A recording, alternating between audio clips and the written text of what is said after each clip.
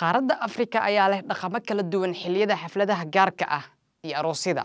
Suudaan caruuska saaxiibadii ayaa la karbaashayaa mararka qaarna isaga ayaaba karbaasho waxaana loo yaqaanaa albataan waana dhaqan iyo caado ay leeyihiin qabiilka jacli oo dega waqooyiga dalka suudaan. Middan waxay ku tusaysaa heerka dulqaad ay u leeyihiin dhaqankooda ayagoo wax xanuun ah aana dareemaynin ayna ku faanayaan dadka ayaa aaminsan in karbaashka lagu karbaashay ay tahay hab lagu muujiyo saaxiibtinimada dulqaadka iyo geesnimada ninka.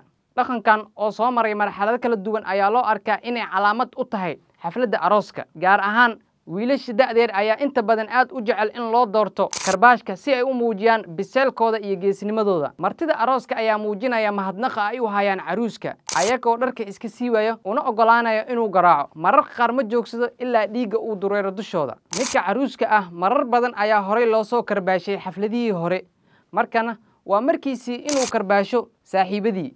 Inta ragga iyo wiilasha la karbaashayo haweenka iyo gabdhaha tuulada ayaa ku madadaalinayo heese iyo koobka ciyaaro si ay u muujiyaan inay ku faanayaan raggooda.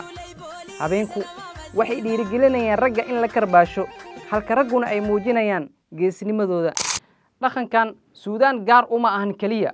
Waxaa jira waddamo badan afrikaan ah lehna dhaqankan istunka. Waxaa ka mid ah soomaaliya nigeria iyo ghana dhammaan waxay ka wada siman yihiin dhaqanka istunka balse ujeeddooyinka loo sameeya ayaa kala duwan. Dhaqankan istunka afrika keliya maxaa u gaar yeelay